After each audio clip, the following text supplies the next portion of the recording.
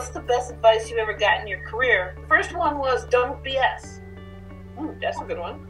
Another one was find allies. Go to grad school. Engineers were pumping gas in 1982.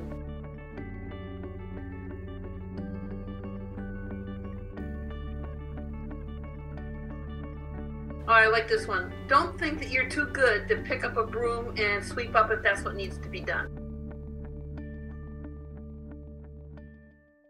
The worst advice was girls can't do math. Don't listen to that one.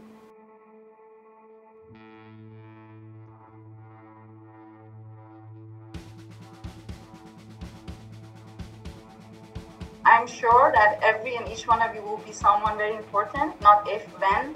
When you did, send me a postcard with your signature, please. I want to keep it. Like, I know this person. Be yourself and don't stop learning because this is just the beginning. We believe that you are ready to go and change the world, so please do.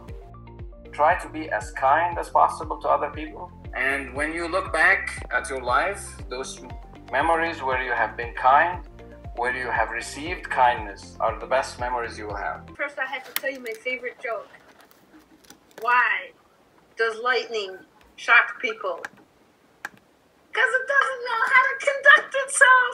As you become more and more successful in life, you will be asked to lead. And leading by being kind is a very good and effective strategy. Don't get hung up on your weaknesses. It's more important for you to build on your strengths. Thank you for being with us. It was a privilege, and we will continue to be friends for the rest of your life.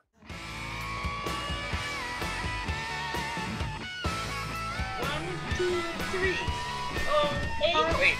Whoops, wait. okay.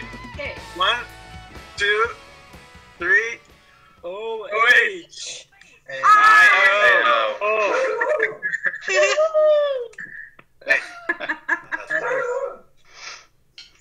well, you know.